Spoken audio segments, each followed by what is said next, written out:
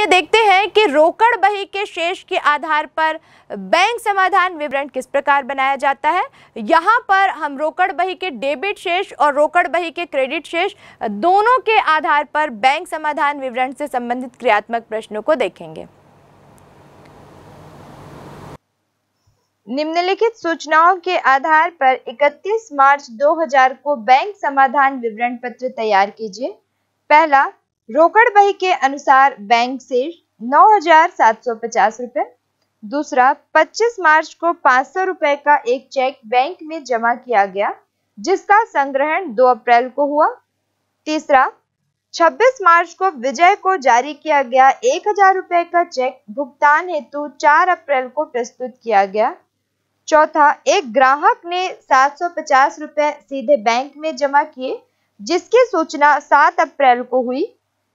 पांचवा, बैंक ने 500 रुपए बीमा प्रीमियम के दिए, जिसका लेखा रोकड़ बही में नहीं किया गया।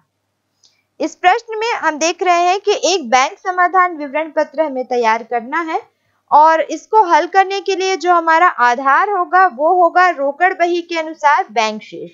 तो क्योंकि रोकड़ बही के अनुसार बैंक शेष यहाँ पर दिया गया है, इसे हम ये मानेंगे कि ये रोकड़ बही के अनुसार डेबिट शेष है। और इसे सबसे पहले हम अपने इस प्रारूप में जो फाइनल अमाउंट का जो कॉलम है नेट अमाउंट का जो कॉलम है, वहाँ पर हम लिख देंगे नौ हज़ार सात सौ पचास nine thousand seven hundred fifty balance as per cash book debit अब हम इसमें से जो पॉइंट्स दिए गए हैं चार पॉइंट इसके अलावा उनमें हम देखेंगे कि कौन कौन से पॉइंट्स इसमें प्लस करने हैं और कौन कौन से पॉइंट इसमें माइनस करने हैं. तो हमने जो टेबल देखा, उस टेबल के अकॉर्डिंग हम ध्यान देंगे कि अगर रोकड़ बही का डेबिट शेष होता है तो इसमें से कौन कौन सी मदे प्लस होती हैं? तो यहाँ हमको एक पॉइंट दिख रहा है, जिसके अंतर्गत 26 मार्च को विजय को जारी किया गया चेक 4 अप्रैल को भुगतान हेतु प्रस्तुत हुआ, यानी कि 31 मार्च को जबकि 31 मार्च 2000 को जबकि बैंक समाधान विवरण हम क्लोज कर रहे थे अकाउंट तब तक ये चेक बैंक में जमा नहीं किया गया था। इसका मतलब या, ये किस मत के अंतर्गत आएगा?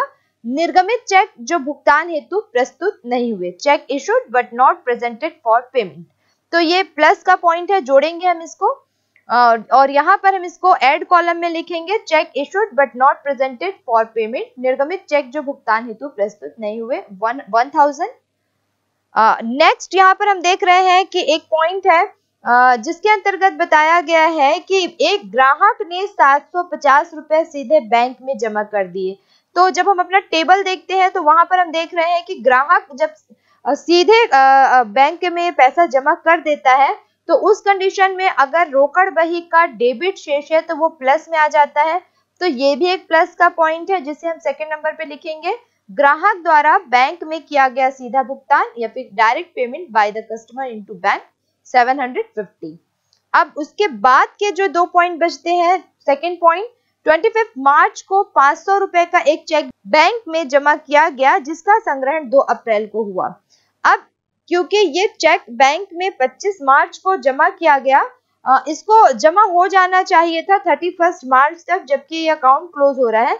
लेकिन क्योंकि स्पष्ट रूप से दिया गया है कि इसका संग्रहण 2 अप्रैल को हुआ है तो ये माना जाएगा कि संग्रह हेतु भेजा गया cheque असंग्रहित। Cheque paid in but not collected, इसके अंतर्गत आएगा, और अगर रोकड़ बही का डेबिट शेष है तो संग्रह हेतु भेजे गए चेक असंग्रहित होने पर माइनस किया जाता है तो ये माइनस में फ़र्स्ट पॉइंट आ जाएगा, फाइव हंड्रेड रुपीज़ इसकी हम अमाउंट कॉलम में लिखेंगे। और नेक्स्ट हम यहाँ पे फिफ्थ पॉइंट देख रहे हैं, बैंक ने पाँच सौ रुपए बीमा प्रीमियम के दिए जिसका लेखा रोकड़ बही में नहीं किया गया। तो ये पॉइंट हमने अपने टेबल में देखा था कि अगर बैंक ने कोई वह बीमा प्रीमियम इस तरह के दिए हैं, लेकिन उनका लेखा अभी तक रोकड़ बही में नहीं किए गए किया है, हमने और अगर रोकड़ बही का डेबिट शेष हमारा आधार है तो इस कंडीशन में ये घटाया जाएगा और हम इसको लेस के कॉलम में लिख देंगे। बीमा प्रीमियम बैंक द्वारा दी गई, किंतु रोकड़ बही में नहीं लिखा गया। Insurance premium paid by bank but not entered in cash book 500 से और अब ये जो नेट अमाउंट है प्लस की एड वाली जो अमाउंट है 1750 उसको हम आउटर कॉलम में लिख देंगे। और अगर हम इसमें रोकड़ बही के अनुसार डेबिट शेष जोड़ते हैं 9750 तो ये टोटल अमाउंट हो जाती है 11500 और इसमें से हम घटाई जाने वाली दोनों मदों को जिसमें 500 और 500 की एंट्री की गई है यानी टोटल 1000 को माइनस कर देते हैं। तो जो हमारा आंसर आता है 10,500 वो हम मानेंगे कि पासबुक के अनुसार शेष है। जैसे कि हमने पहले भी देखा कि अगर हम आधार मानते हैं रोकड़ बही के डेबिट शेष की तो जो आंसर हम फाइंड आउट करते हैं वो आता है पासबुक के अनुसार शेष और ये आ जाएगा हमारा 10,500 Mrs Ram Prasad and sons के पासबुक में पाँच हज़ार चार सौ रुपए का जमा शेष 31 दिसंबर 2009 को था। रोकड़ बही से तुलना करने पर निम्न तथ्य प्रकट हुए। पहला, एक हज़ार पाँच सौ रुपए के चेक निर्गमित किए गए थे, किंतु एक हज़ार रुपए के चेक भुगतान के लिए प्रस्तुत किए गए। दूसरा, बैंक व्यय के दस रुपए बैंक द्वारा डेबिट किए गए। तीसरा, बैंक व्यय के सौ रुपए ब्याज जमा किए गए। चौथा 160 रुपए का चेक ग्राहकों से मिला, जिसका रोकड़ बही में तो लेखा कर दिया गया। किंतु बैंक भेजना भूल गए। पांचवा 250 रुपए का एक चेक बैंक भेज दिया गया तथा बैंक द्वारा जमा कर दिया गया, किंतु रोकड़ बही में इसका लेखा नहीं किया गया। छठवा 29 दिसंबर को आठ सौ रुपए का एक चेक बैंक में जमा करने के लिए भेजा गया, जो 31 दिसंबर तक जमा नहीं हो सका। बैंक समाधान विवरण तैयार कीजिए। इस प्रश्न में हम देख रहे हैं कि यहाँ पर जो शेष दिया गया है 5400 अब वो पासबुक का क्रेडिट शेष है और अब हम पासबुक के क्रेडिट शेष के आधार पर इसकी कैलकुलेशन जब करेंगे तो लास्ट में हमारा जो हमको आंसर मिलेगा वो हमारा रोकड़ बही का डेबिट शेष कहलाएगा, जिस तरह से हमने इसके नियमों को पढ़ा उसके अनुसार। और अब आइए देखते हैं कि जब पासबुक का क्रेडिट शेष होता है तो उस कंडीशन में हम कौन कौन सी मदों को इसके अंतर्गत जोड़ते हैं और कौन कौन सी मदों को घटाते हैं? तो सबसे पहले यहाँ पर हम फॉर्मेट में लिखेंगे balance as per passbook passbook के अनुसार समाकलन शेष 5400 और इसको हम दो भागों में बांट देंगे प्लस और माइनस और क्वेश्चन के अकॉर्डिंग प्लस वाला जो पॉइंट है वो हम प्लस में लिखते जाएँगे। और माइनस वाला जो पॉइंट है माइनस में लिखते जाएँगे। तो फ़र्स्ट हमारा पॉइंट है 1500 के चेक निर्गमित किए थे, किंतु 1000 के चेक भुगतान के लिए प्रस्तुत किए गए। इस टॉपिक को जब हम अच्छे से समझेंगे इस पॉइंट को तो हम यहाँ पर देख रहे हैं कि हमने 1500 का चेक इशू किया था, लेकिन 1000 का चेक जो है, वो तो भुगतान के लिए प्रस्तुत हो गया। इसका मतलब ये है कि पाँच रुपए का चेक ऐसा है जो जारी किया गया लेकिन भुगतान के लिए अप्रस्तुत रहा 31 दिसंबर तक। तो ये जो पॉइंट है, जारी किए गए चेक भुगतान के लिए अप्रस्तुत, इसको जब हम अपने टेबल में देखते हैं तो ये लेस का पॉइंट है, यानी कि किस दशा में? जबकि पासबुक का शेष जो है, वो क्रेडिट होगा तो उस दशा में ये माइनस का पॉइंट है। तो इसको हम माइनस के अंतर्गत लिख देंगे फ़र्स्ट पॉइंट डालकर। चेक जारी किए गए, किंतु भुगतान के लिए अप्रस्तुत। Cheque issued but not presented till now 500 ही अमाउंट हम लिखेंगे और यहाँ पर हम इनर कॉलम में 1500 हंड्रेड माइनस 1000 शो कर सकते हैं ताकि हमको ये याद रहे कि 1500 के अमाउंट हमने कहाँ से ली है। इनर कॉलम में हम इसकी अमाउंट लिखेंगे 500 सेकेंड बैंक व दस रुपए बैंक द्वारा डेबिट किए गए। बैंक एक्सपेंसेस एक प्रकार का बैंक चार्ज है और जब हमने टेबल देखा था तो वहाँ हमने देखा था कि बैंक एक्सपेंसेस उस दशा में जबकि पासबुक का क्रेडिट शेष दर्शाता है तो यहाँ पर हम इसको ऐड कर देते हैं। तो हम इसको ऐड कॉलम में लिख लेंगे, bank expenses, first point ten rupees उसके बाद थर्ड पॉइंट है हमारा, bank credited and interest of rupees hundred.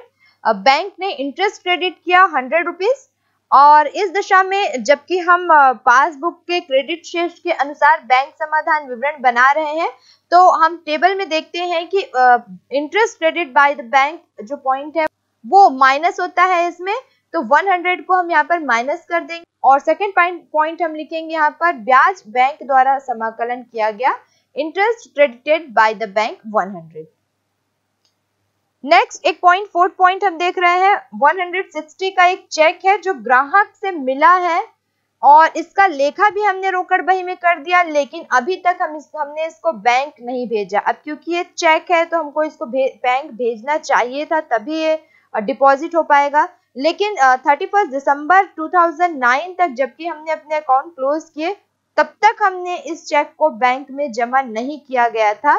तो ये जो हमारा पॉइंट है ये कहलाता है चेक जो रोकड़ बही में लिखे गए किंतु बैंक में संग्रह हेतु नहीं भेजे गए। और अगर हम टेबल देखते हैं तो हमको यहाँ पे ये दिख रहा है कि अगर पासबुक का क्रेडिट शेष होता है तो इस कंडीशन में ये ऐड के अंतर्गत जोड़ जोड़े वाले कॉलम के अंतर्गत आता है तो हम इसको प्लस में लिख देंगे। चेक जो रोकड़ बही में लिखे गए, किंतु बैंक संग्रह हेतु नहीं भेजे गए। Cheque entered in cash book but not send to bank 160 fifth point हम देख रहे हैं 250 का एक चेक बैंक भेज दिया गया। तथा बैंक द्वारा जमा कर दिया गया, किंतु रोकड़ बही में इसका लेखा नहीं किया गया। अब यहाँ पर एक चेक है जिसे हमने बैंक भेज दिया, लेकिन रोकड़ बही में इसकी एंट्री नहीं की। जस्ट ये फोर्थ पॉइंट का अपोजिट हो जाता है।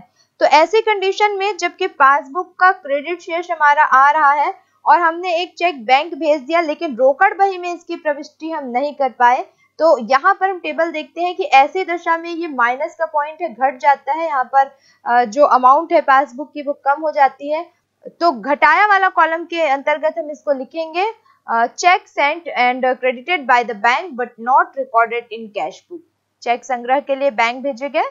बैंक द्वारा समाकलन किया गया, किंतु रोकड़ बही में इनका लेखन नहीं किया गया। 250 से हम इसकी एंट्री इनर कॉलम में करेंगे।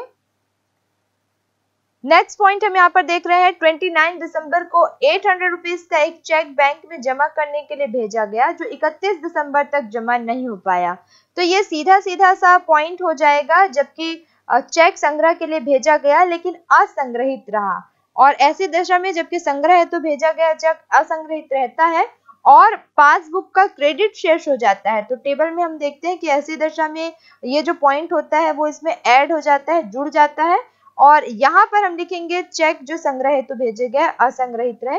Cheque sent into bank but not credited till now और 800 से हम इसकी एंट्री करेंगे। अब क्योंकि सारी एंट्री हमने यहाँ पर कर ली है और हम ऐड कॉलम में देखते हैं कि टोटल कितनी अमाउंट हो रही है तो 160, 800 और 10 मिलाकर 970 रुपीस हमको इसमें ऐड कर देना है 5400 में। तो ये अमाउंट हमको मिल जाती है 6370 और माइनस वाले कॉलम में हम देखते हैं कि 500, 250, 100 तीन अमाउंट है। इसको हम ऐड कर लेते हैं तो ये हो जाता है 850 और अब इस टोटल अमाउंट को हम 6370 में से माइनस कर देंगे 850 को। तो जो हमको आंसर मिलेगा 5520 उसे हम ये मानेंगे कि रोकड़ बही के अनुसार डेबिट शेष है balance as per cash book debit. निम्नलिखित सूचनाओं से 31 मार्च 2011 को बैंक समाधान विवरण तैयार कीजिए। पहला, रोकड़ बही के अनुसार बैंक शेष 9750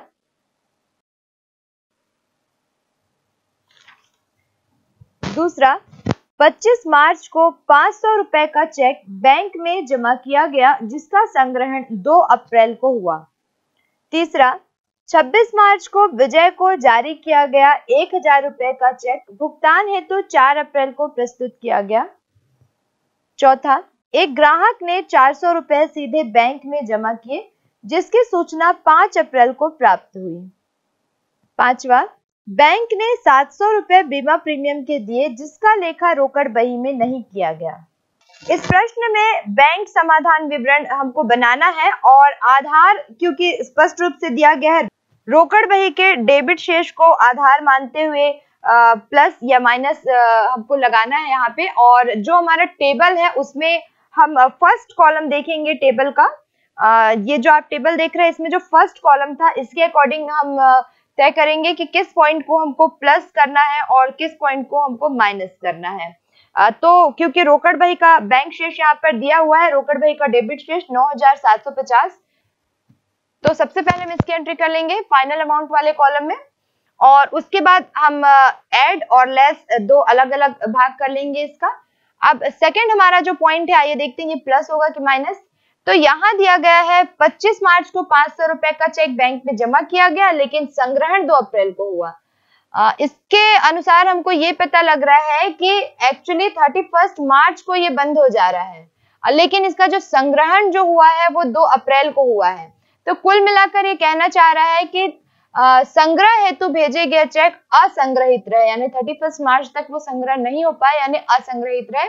और अगर इस पॉइंट को हम देखते हैं तो ये हमको दिखता है माइनस का पॉइंट फ़र्स्ट जो रो है जिसमें रोकड़ भाई का डेबिट शेष अगर आधार माना जाए, और उस कंडीशन में संग्रह हेतु भेजा गया चेक असंग्रहित हो जाए तो इस पॉइंट को हम माइनस करते हैं तो पाँच सौ रुपए जो फाइव हंड्रेड रुपीज़ है, उसको हम माइनस वाले ग्रुप में लिखेंगे और फ़र्स्ट पॉइंट हम इसमें लिखेंगे पाँच सौ रुपए का चेक और यहाँ पर हम लिखेंगे संग्रह हेतु भेजे गए चेक असंग्रहित और अमाउंट कॉलम में हम 500 लिखेंगे।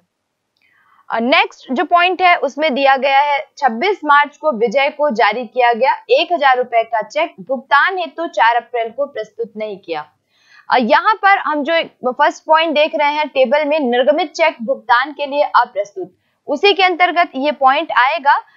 एक अंदाज़ा हम इससे भी लगा रहे हैं कि 4 अप्रैल को प्रस्तुत किया गया जबकि फाइनली इसको 31 मार्च तक प्रस्तुत हो जाना चाहिए था। तो इससे इसके आधार पर हम कह सकते हैं कि निर्गमित चेक भुगतान के लिए अप्रस्तुत रहा। और क्योंकि यहाँ पे हम देख रहे हैं कि ये प्लस का पॉइंट है जुड़ता है इससे बढ़ती है रोकड़। तो यहाँ पर हम लिखेंगे आ, प्लस के कॉलम में निर्गमित चेक भुगतान हेतु अप्रस्तुत और अमाउंट के कॉलम में हम वन थाउज़ेंड से इसकी एंट्री करेंगे। नेक्स्ट जो फोर्थ पॉइंट है हमारा, उसमें दिया गया है, एक ग्राहक ने चार सौ रुपए सीधे बैंक में जमा किए, जिसकी सूचना पाँच अप्रैल को प्राप्त हुई। तो यहाँ पर हम देख रहे हैं कि ग्राहक द्वारा सीधे बैंक में अगर राशि जमा की जाती है तो वो प्लस का पॉइंट है, बढ़ता है इससे रोकड़। तो प्लस के पॉइंट में, प्लस के कॉलम में हम इसको लिखेंगे, ग्राहक द्वारा सीधे बैंक में जमा किया गया और अमाउंट कॉलम में हम लिखेंगे 400 उसके बाद नेक्स्ट जो पॉइंट है, बैंक ने सात सौ रुपए बीमा प्रीमियम के दिए, जिसका लेखा रोकड़ बही में नहीं किया गया।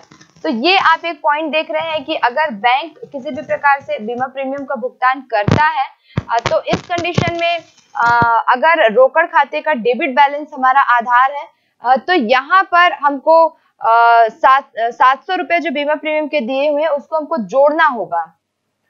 तो यहाँ पर हम माइनस वाले कॉलम में लिखेंगे, बैंक द्वारा बीमा प्रीमियम चुकाया गया और सात सौ रुपए की जो अमाउंट है, उसको हम अमाउंट कॉलम में लिखेंगे माइनस साइड में। और अब हम प्लस माइनस की कैलकुलेशन पूरी की पूरी कर देंगे, जो प्लस वाले पॉइंट है, वो वो 9750 जो रोकड़ खाते का डेबिट शेष है, उसमें जुड़ जाएगा। और यहाँ पे हम देख रहे हैं कि टोटल जो अमाउंट आ रही है, उसमें से हम माइनस वाले कॉलम को, यानी कि बारह सौ रुपए को घटा दे रहे हैं। तो हमको जो बैलेंस प्राप्त होता है, वो होता है नौ हज़ार नौ सौ पचास। और जैसे कि हमने पहले भी देखा कि अगर रोकड़ बही का डेबिट शेष है तो हम देख रहे हैं कि अब जो आंसर आया है बैलेंस जो आया है, उसको हम पासबुक का क्रेडिट शेष मानेंगे नौ हज़ार नौ सौ पचास रुपए। निम्न सूचनाओं पर 31 मार्च 2010 को राम एंड कंपनी का बैंक समाधान विवरण बनाइए। पहला, रोकड़ पुस्तक में सात हज़ार पाँच सौ रुपए की डेबिट बाकी थी, पासबुक से मिलान करने पर ज्ञात हुआ। दूसरा, बारह सौ रुपए का एक चेक संग्रह के लिए जमा किया गया, उसकी राशि अभी तक जमा नहीं हो पाई। तीसरा, छब्बीस सौ रुपए का एक चेक 28 मार्च को निर्गमित किया गया परंतु उसे अभी तक भुगतान के लिए प्रस्तुत नहीं किया गया। चौथा 31 मार्च को बैंक ने ब्याज के 125 रुपए पासबुक में क्रेडिट कर दिए, लेकिन उसका लेखा रोकड़ पुस्तक में नहीं हुआ। पांचवा, पच्चीस रुपए बैंक व पासबुक में लिखा हुआ है, लेकिन रोकड़ पुस्तक में उसका कोई लेखा नहीं है। इस प्रश्न में हम देख रहे हैं कि बैंक समाधान विवरण हमको तैयार करना है और जो आधार है, वो ये है कि रोकड़ पुस्तक में सात हज़ार पाँच सौ रुपए की डेबिट बाकी थी। यानी कि रोकड़ पुस्तक के डेबिट शेष के आधार पर हमको बैंक रिकंसिलेशन स्टेटमेंट तैयार करना है और ऐसी कंडीशन में हम देखेंगे कि जो हमारा टेबल है, प्लस या माइनस का जो रूल है उसको देखने के लिए हम टेबल का फ़र्स्ट कॉलम देखेंगे, जिसमें लिखा हुआ है रोकड़ बही के डेबिट शेष के आधार पर। तो इसके आधार पर जब हम बनाना स्टार्ट करेंगे तो फ़र्स्ट पॉइंट हमारा जो आएगा वो होगा बारह सौ रुपए का एक चेक संग्रह के लिए जमा किया गया, लेकिन उसकी राशि अभी तक संग्रहित नहीं हो पाई। टेबल में अगर हम देखते हैं तो जो हमारा सेकंड पॉइंट है, संग्रह हेतु भेजे गए चेक असंग्रहित। इसके अंतर्गत यह आएगा तो ट्वेल्व हंड्रेड की अमाउंट अब माइनस कॉलम में, क्योंकि माइनस दिया गया है यहाँ पे तो माइनस वाले पोर्शन में हम इसको लिखेंगे। संग्रह हेतु तो भेजे गए चेक असंग्रहित, और बारह सौ रुपए की जो अमाउंट हम इसके सामने लिखेंगे माइनस में। नेक्स्ट जो पॉइंट है, उसमें छब्बीस सौ रुपए का एक चेक निर्गमित हुआ 28 मार्च को, लेकिन अभी तक वो भुगतान के लिए प्रस्तुत नहीं है। तो यहाँ पर हम देख रहे हैं कि फ़र्स्ट जो हमारा पॉइंट है, निर्गमित चेक भुगतान के लिए अप्रस्तुत उसके अंतर्गत ये पॉइंट आएगा और इसमें हम देख रहे हैं कि फ़र्स्ट कॉलम यानी कि रोकड़ भाई का अगर डेबिट शेष है तो ये प्लस हो जाएगा, बढ़ जाती है राशि से इसलिए ये प्लस हो जाएगा। और हम इसको प्लस वाले वाला जो पोर्शन है हमारा, उसके अंतर्गत लिखेंगे, निर्गमित चेक भुगतान के लिए अप्रस्तुत छब्बीस सौ रुपए। नेक्स्ट हमारा जो पॉइंट है, उसमें दिया गया है 31 मार्च को बैंक ने ब्याज के 125 रुपए पासबुक में क्रेडिट कर दिए, लेकिन उसका लेखा रोकड़ पुस्तक में नहीं किया गया। तो 125 ये इसकी अमाउंट है, और सबसे महत्वपूर्ण बात यह है कि हमको देखना है कि डेबिट क्या है क्रेडिट अब क्योंकि यहाँ पे लिखा है कि पासबुक में क्रेडिट कर दिए, पासबुक में ये अमाउंट आती है, क्रेडिट कर दी है तो ये प्लस का पॉइंट है हमको टेबल में दिखाई दे रहा है। तो हम ऐड वाले पोर्शन में इसको लिखेंगे। बैंक ने ब्याज की राशि क्रेडिट की, लेकिन उनका उल्लेख रोकड़ पुस्तक में नहीं किया गया और एक सौ से हम इसकी एंट्री प्लस स्लाइड में करेंगे। ये सारी अमाउंट हमको इनर कॉलम वाला जो अमाउंट है हमारा उसमें करना है और बाद में फिर हम इसको टोटल करके फाइनल अमाउंट का जो कॉलम है उसमें हम लिखेंगे। तो नेक्स्ट हमारा पॉइंट है यहाँ पर पच्चीस रुपए बैंक में पासबुक में आ, लिखा तो हुआ है लेकिन रोकड़ पुस्तक में उसका कोई उल्लेख नहीं किया गया। अब बहुत सावधानी से हमको यहाँ पर देखना होता है कि इनकम है कि एक्सपेंस है। हालाँकि हम प्लस माइनस का रूल अगर याद कर लेते हैं समझ लेते हैं तो बहुत आसानी से आ, लिख देते हैं प्लस या माइनस के कॉलम में। लेकिन एक कंसेप्ट से भी अगर हम उसको समझना चाहें तो हमको बहुत ध्यान देना होगा कि आय व्यय है लाभ है या हानि है।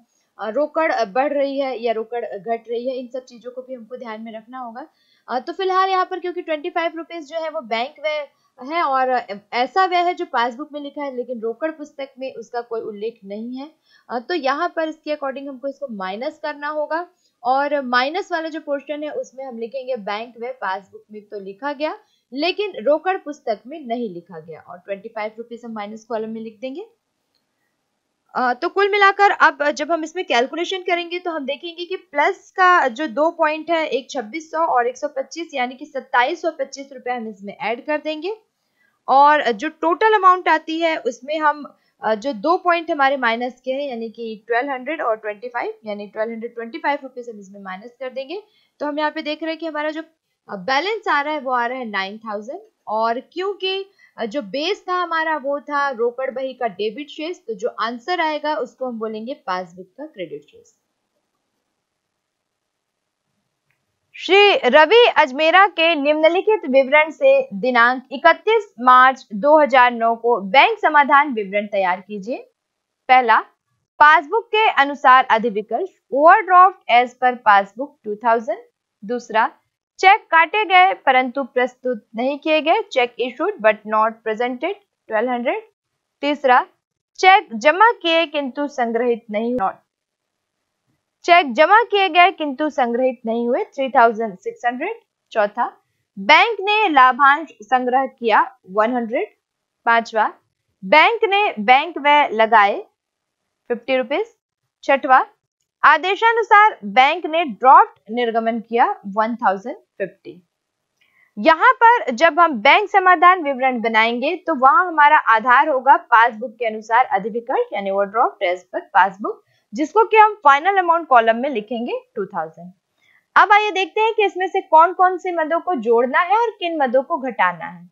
तो सबसे पहले हमको पॉइंट दिख रहा है चेक काटे गए पर प्रस्तुत नहीं किए गए, यानी कि ये पॉइंट है निर्गमित चेक भुगतान के लिए अप्रस्तुत। और जैसे कि पिछले कई प्रश्नों में हमने देखा अगर पासबुक का अधिकर्ष जो है वो हमारा बेस है तो निर्गमित चेक भुगतान के लिए अप्रस्तुत वाला जो पॉइंट है, उसको हम यहाँ पर ऐड में डालते हैं। तो यहाँ हम ऐड कॉलम में लिखेंगे निर्गमित चेक भुगतान के लिए अप्रस्तुत। और इनर अमाउंट कॉलम में हम 1200 इसकी अमाउंट लिखेंगे।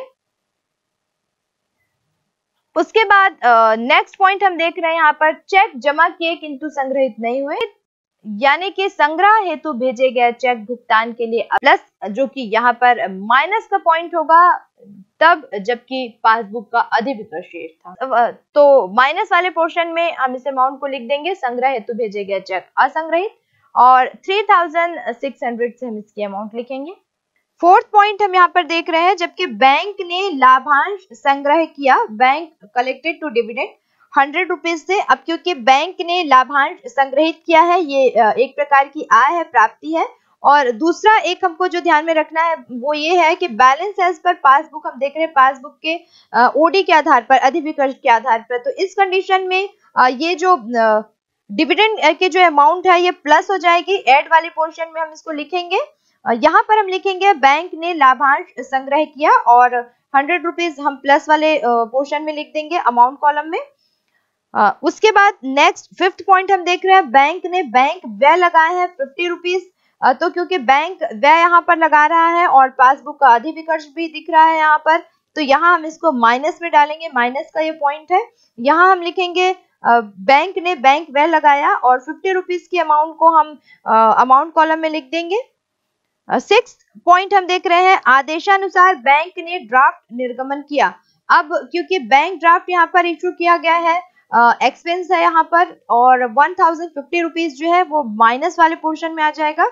तो माइनस में हम यहाँ पर लास्ट पॉइंट लिखेंगे बैंक ने ड्राफ्ट निर्गमन किया और वन थाउज़ेंड फिफ्टी के अमाउंट को हम माइनस वाले कॉलम में लिखेंगे। और फिर हम देख रहे हैं यहाँ पर कि टोटल जो है प्लस का वो है थर्टीन हंड्रेड तो 1300 को हम आउटर अमाउंट कॉलम मतलब जो हमारा मेन अमाउंट कॉलम है उसमें हम लिख देंगे 1300 और 1300 को जब हम 2000 में ऐड कर देंगे तो वो 3300 हो जाएगा। माइनस का टोटल हम देख रहे हैं कि 4700 आ रहा है इसमें uh, 3300 हम माइनस करेंगे तो ये जो हमारा अमाउंट आंसर जो हमारा आएगा 1400 हम देख रहे हैं माइनस में वो आ रहा है यानी कि इसको हम balance as per cash book यानी रोकड़ भाई के डेबिट के आधार पर मानेंगे 1400